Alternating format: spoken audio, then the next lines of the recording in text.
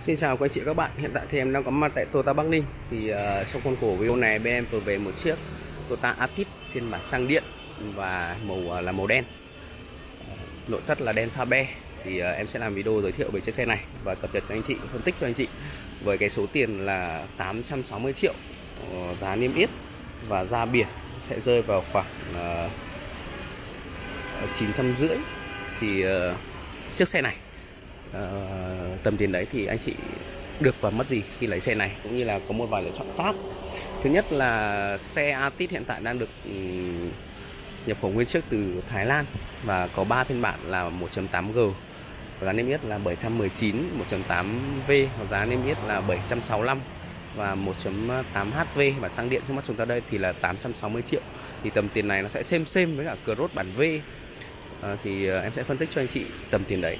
À, Cross bản 1.8V máy thuần xăng và à, uh, Atip bản xăng điện thì nó sẽ có ưu nhược điểm gì? Thứ nhất là về uh, máy máy thì chắc chắn cái bản hybrid này đi sẽ sướng hơn và ngoài ra thì nó sẽ tiết kiệm nhiên liệu hơn nhiều.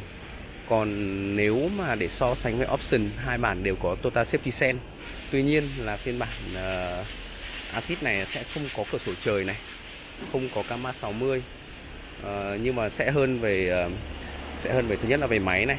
Atis sẽ hơn về máy. Uh, cái tiêu thụ nhiên liệu chỉ có 4,5 lít trên 100 cây. Và ngoài ra thì uh, màn hình của Atis cũng sẽ đẹp hơn. Và cái Atis sẽ có là auto hold và phanh tay điện tử là một cái trang bị mà em nghĩ là cũng cũng khá tiện lợi. Uh, tiếp theo là cái màn hình của Atis thì sẽ có là Apple CarPlay không dây.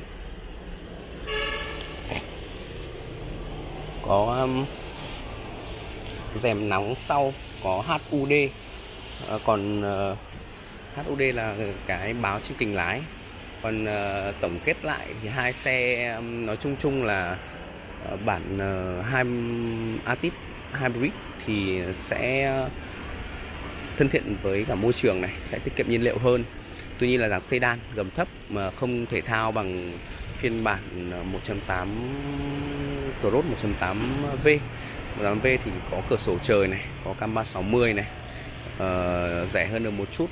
Và tuy nhiên là uh, là sẽ không không có những cái trang bị khác như là khoanh thay điện tử hay là auto hold HUD thì hai bản nó cái cái cái bản ờ, uh, xăng điện của của Atit này nó sẽ mạnh về vận hành hơn nó sẽ mạnh về vận hành những cái tính năng để trải nghiệm khi mình lái ấy. như phanh tay điện tử là khi mà anh chị vào số D ấy, nó tự hạ phanh tay xuống. Ờ, và mình sẽ đi nó sẽ tiện hơn nó liên quan đến nó mạnh về vận vận hành. Máy khỏe hơn có máy xăng điện thân thiện với môi trường hơn. Còn uh, cái uh, xe và ngoài ra ấy, theo trải nghiệm của cá nhân em thì xe Atit khi mình vận hành nó sẽ ổn định hơn trên đường trường cũng ổn định hơn.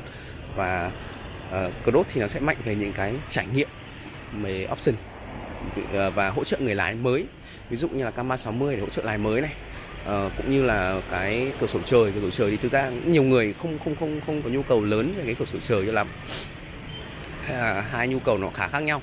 Thì em sẽ tính cho anh chị về cái về cái giá nhất là phiên bản ờ, như em vừa báo ấy, là của bản 1.8 HP bản ờ, Atis xăng điện thì có giá là 860 triệu cộng với tiền thuế là 86 triệu cộng với chi phí đăng ký đăng kiểm sẽ rơi vào khoảng 950 triệu. Còn ờ, phiên bản Cross thì có giá là 846 cộng với chi phí đăng ký đăng kiểm là 84,6 triệu. Cộng với chi phí đăng ký đăng kiểm lại rơi vào khoảng gần 440 hai bản nó hơn nhau hơn 10 triệu thôi. Mà xăng điện hơn 10 triệu. Thì tùy nhu cầu anh chị nó sẽ có những cái uh, ưu nhược điểm vừa rồi. Thì theo cá nhân em nếu là em em sẽ chọn là lấy phiên bản Atit xăng điện.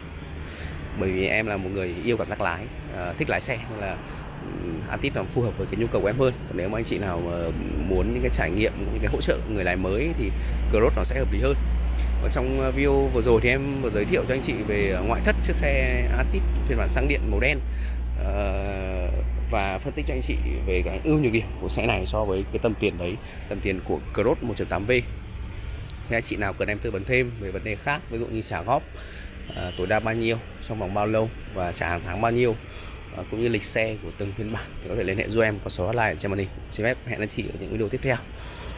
Xin chào và hẹn gặp lại.